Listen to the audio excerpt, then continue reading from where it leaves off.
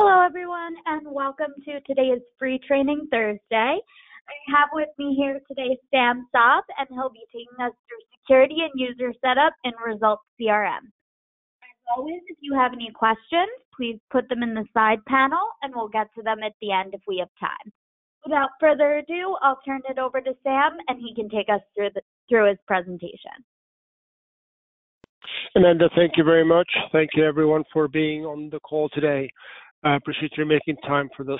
All right, so today we're going to be uh, delving into the uh, security setup. Typically, we do this as part of the onboarding process where we do the administrative training for the person or persons responsible for your system and show you how to set up the, the various options for the users that are using the system for your office. And we're going to walk you through the whole thing today. So, um, let me confirm a couple of things. So we're seeing the screen with the login. Okay, I'm going to be using version 18, which is the uh, uh, current shipping version of Results CRM. Everything that we're covering, though, really applies all the way to Classic. So even if you're still using an older version of Results, there's there has been no redesign, major redesign changes within the layout of the uh, setup screen and the options that you have there. So let's get in there and show you how to do it when you log into the system, uh, this is what we're talking about. Who are the users that are able to come into the system? And when they get into the system and log in using their user ID and password, what is it that they can do within the system itself? Now, the way these are set up, as uh, you can tell from the word setup, we're leading in to go into the menu called setup. Under the setup, there is an option here called users and security settings right there. Now, most entities within the, or most team members within the organization will not have access here. So if you click on this and says you need to be an administrator. Uh, please don't be surprised. That's pretty typical. Usually there's one um, uh, and a backup. So typically two, maybe three tops would be the number of entities that are able to access the user maintenance screen. Let me describe what's in here and uh, then walk you through setting up a, a full user together. The, the way the matrix screen works is that the far left side is the grid that shows the entities or the user accounts already set up in the system. Um, and so whenever you highlight any of those names, uh, you're going to be able to see further details about that account or about that user. And we're going to walk through all those options and explain what each of them are. Um, and also notice because the user screen has a lot of features or settings there. Then there's also a tab section at the bottom where you're able to go to different portions of the setup. So if you want to set up team, sorry, timesheet uh, values or attributes for this user, you're going to go to the timesheet tab to, to identify those. Otherwise, by default, you'll be at the email tab. On the right side of the screen, uh, the, the, most important uh, part of the uh, screen is this action menu. Um, some refer to it as an action bar, some of it referred as action menu. Effectively, these are the items or the steps that you are able to take at this stage. By if you're not clear what the icon does, you're able to put your cursor on it for a couple of seconds, and then there will be a tooltip under it showing exactly what you are able to do uh, with that action button. Uh, the screen is in middle here. On the bottom right corner, there's the view mode. And then if you are highlighting uh, by clicking any field within the screen, further information about that field will be displayed within the status bar all the way on the bottom left corner of your screen. So it gives you a little bit more details on what you're dealing with. One final thing to show you or make sure that you're aware of uh, before we delve into adding a record or a user to the system ourselves and, and uh, setting up the um, options is that this there's a help button up here. Uh, this is your online help. This is equivalent to going closing that screen, going to the help menu and clicking on this results help button. They both do exactly the same thing except that in this case you don't have to exit the screen to get to it. So when you click on this help, or press the F1 key, it will open up this online version of the help, which in other words, it's not a PDF file, it's actually an HTML or uh, online version, uh, um, technology, browser-based technology. And so if you scroll to the bottom of this list, you'll see something about setting up user accounts. And if you open that, you're going to see different options here. One of them is called adding a user, which will walk you through all the options available including this important screen. We're going to come back to later on. This is a chart that explains the security groups. And I'll explain what security groups are. I'll explain the, this option and uh, remind you where you can go to see what the options are uh, without having to memorize any of this stuff. All right, let's go ahead and get in there and add a user together. Let's say we have a new person, and uh, his name is Steve. That just added the team. Uh, that that is now a new person uh, at the team, and so we're going to go here, go to the user maintenance. We're going to click on the add button, which is the first button at the top.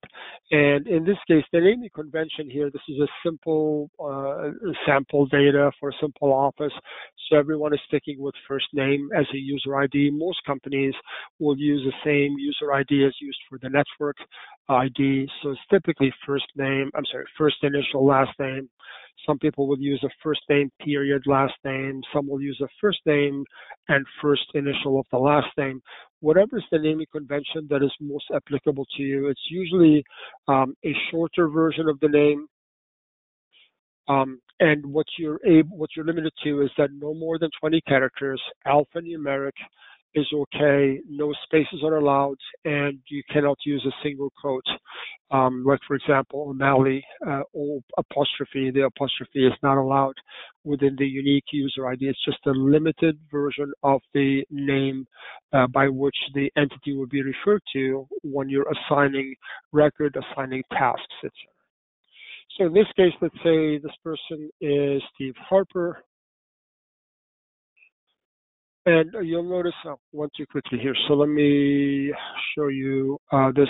Uh, when you're when you're first entering the name and you enter Steve and Harper, when you tab out to exit the field, as long as the full name is empty, whatever is here, if it's not uh, filled when you leave the full name or when you're accessing the full name, it will automatically build it and substitute it with the first name space last name. So it's just saving you some time. Uh, the default security group when you're adding a new one is staff office, which is your most basic and regular security. Uh, no, nothing special about it. I'll explain what that means shortly.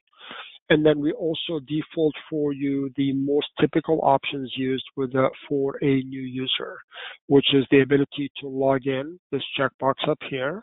The, the, the password is required and their ability to set their own password when they come in and the fact that the person will be listed in the available set of individuals or names that can be assigned tasks and contacts and documents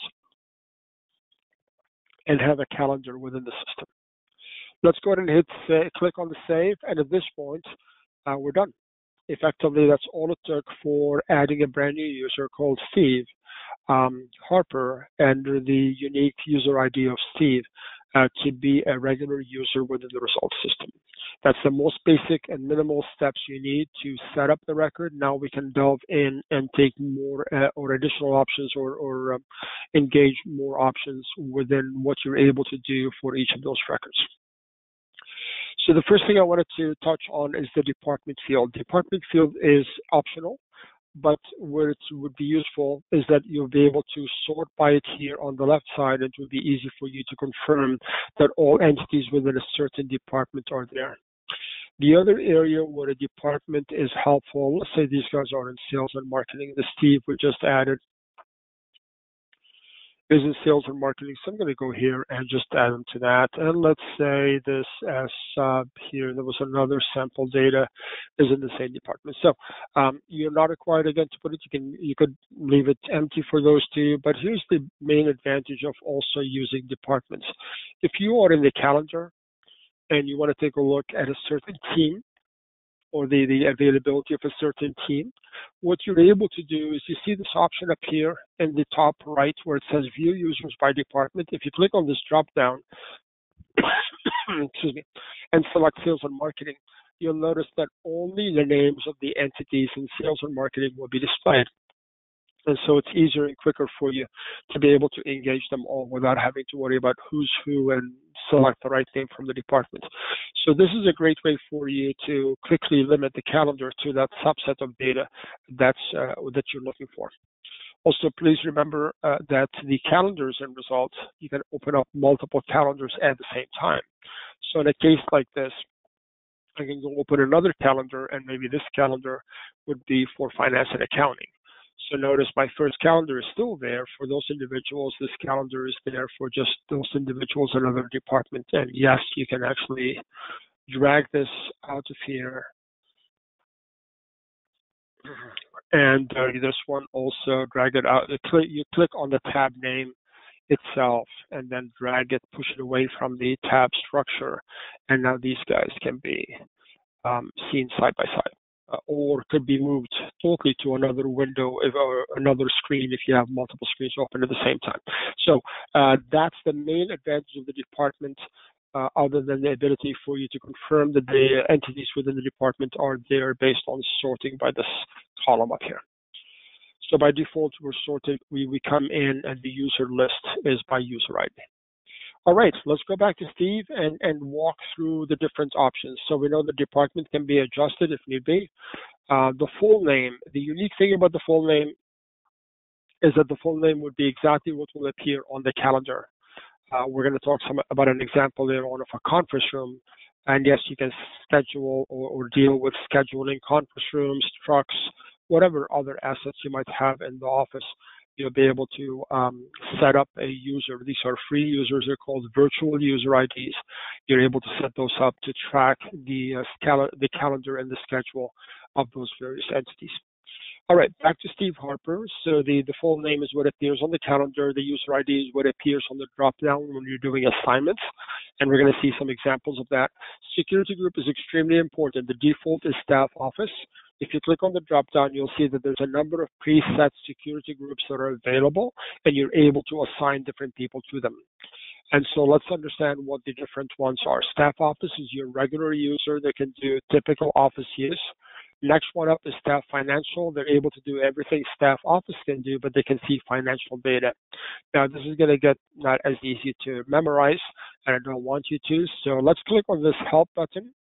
Go to the um, user accounts chapter. And then within user accounts chapter, adding users. And when you scroll further down, you're going to see this chart.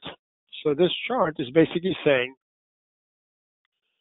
and this doesn't have to be that wide. Okay, so this chart basically says these are the different security groups. You'll notice staff office sitting up here.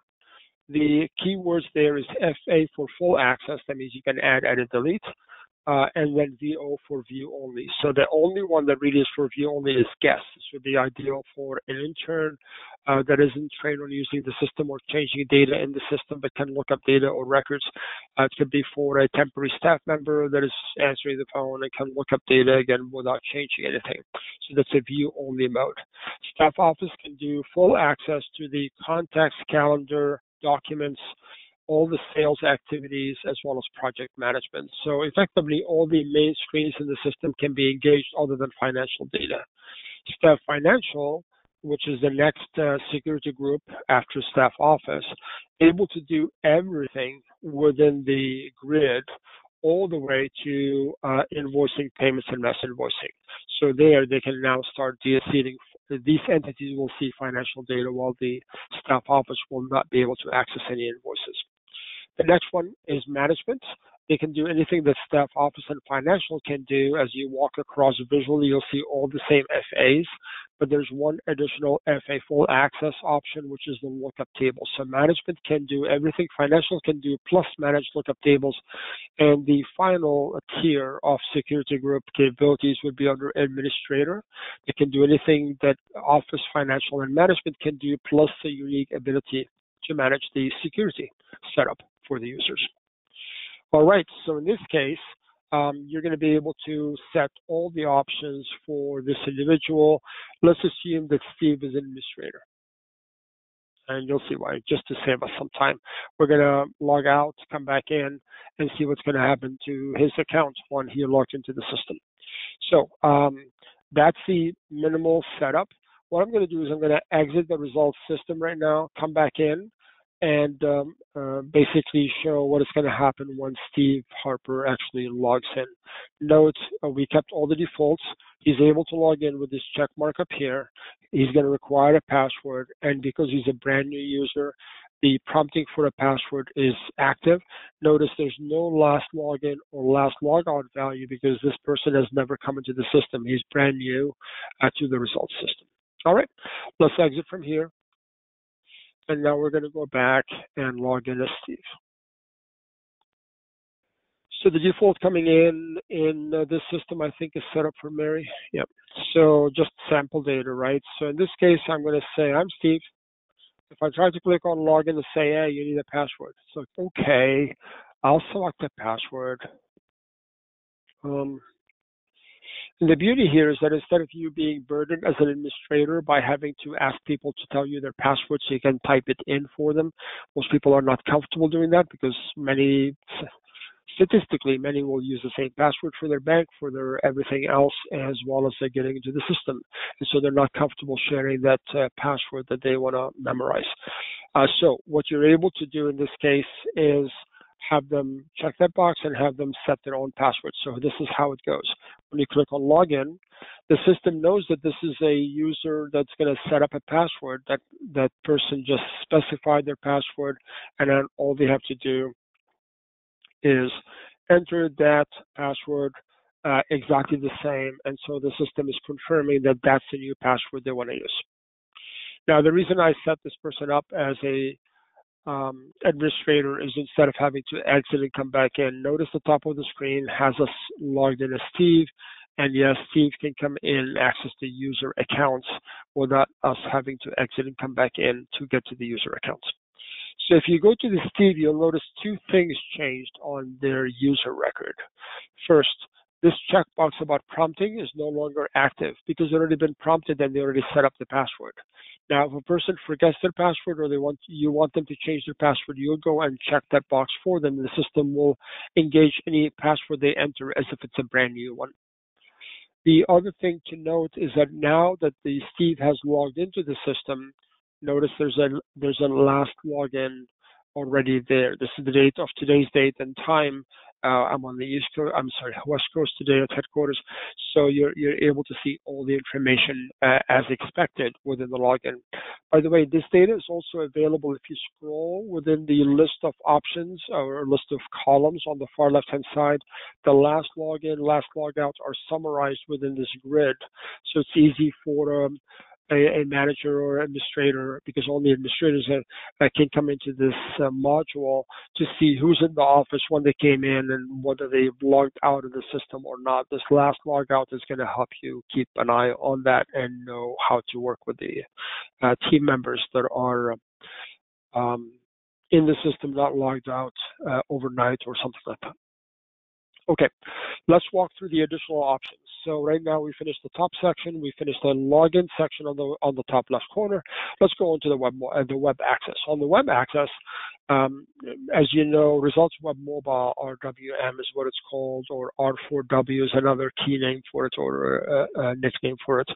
So all of those are available if they're installed, if you have a server and you're able to install them, uh, you're able to then decide whether this person, Steve, is able to use the web version or not. You can still lock them out of the web version if you want, even if though it's installed for your office. In this case, we're going to allow them to log into the web version. If you're using field service management and only for field service management, there are special licenses that are used for technology for um, technicians in the field where there are subcontractors and they're not allowed to see the customer data.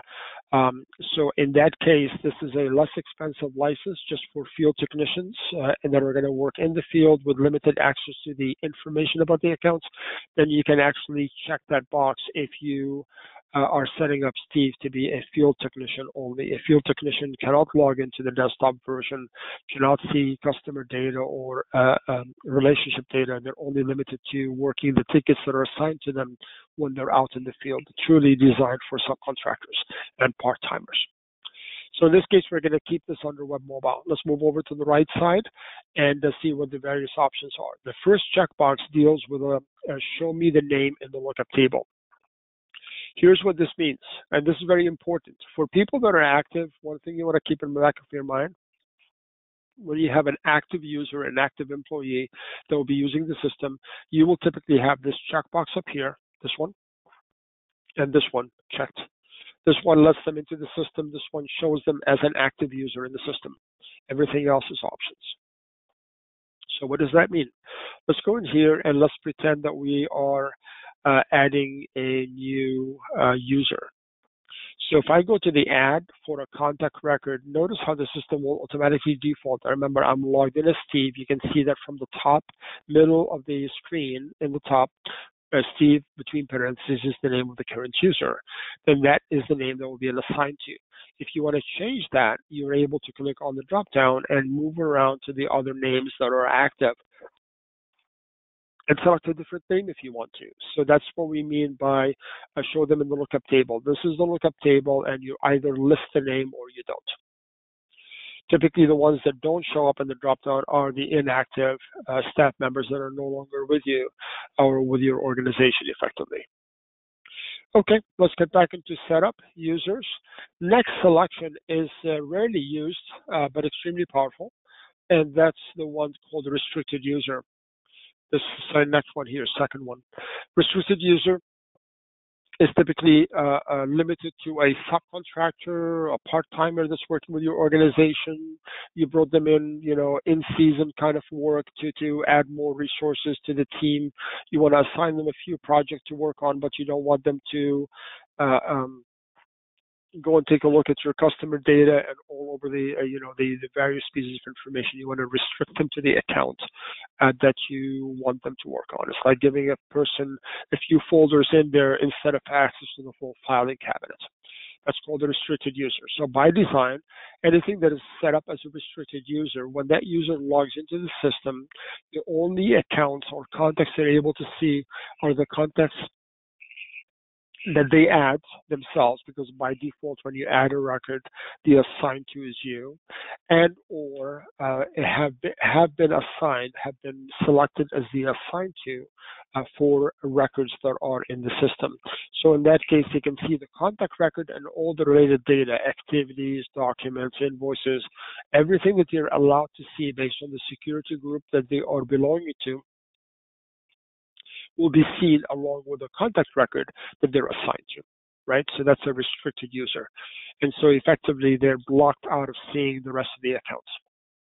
The next option is an override. This is an extremely powerful one, but it's typically restricted or limited to upper management or the ownership of the company. So an override ignore private flag means this person would be immune from um, from being blocked of, uh, to see private data. In results, there are three types of records that can be private. A contact record can be set as private, a document record can have a private ownership, and a activity can also be set up as private. Private, one of those records, private, and being checked and the name of the assigned to would be the only person that can actually access that record. It's private record just for them, for their eyes only, except for the ones that are authorized to have an override. So let's say you're the owner of the business and the logic is you should not be able to be blocked from uh, well, you would not want to be blocked from seeing any data in the system. All data should be accessible to you um, as an owner uh, of the business. Uh, there are also administrators sometimes that are set up with the override. The idea there is that if someone by mistake selects a record as private because they didn't know what they were doing and making that selection and hit save, that record will look as if it has been permanently purged or deleted, removed totally from the system, including all the data under it, like the activities on it, the invoices on it, all of those will disappear from the system. And so it's pretty significant and can concern the office. So the idea is to have the person with an override come in and look for the record and they'll be able to see it even if it's set as private and then remove the privacy. So that's what you would do on that checkbox.